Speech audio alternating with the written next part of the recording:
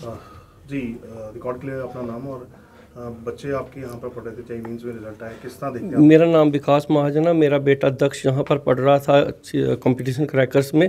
उसने JEE mains में 99.803 percentile ली है और उसकी रैंक ऑल इंडिया रैंक जो है 2384 है। मैं सबको इसके लिए धन्यवाद देता हूँ, इसके टीचर्स को भी, और जो उन्होंने हमें इतना अच्छा माहौल दिया उधमपुर में जो कि बाहर के बाहर में होती है। आजकल हमारे उधमपुर में ऐसा हो गया है कि बच्चे उधमपुर के इस लेवल पर जा रहे हैं कि इतनी अच्छी ऑल इंडिया रैंक्स ले रहे हैं।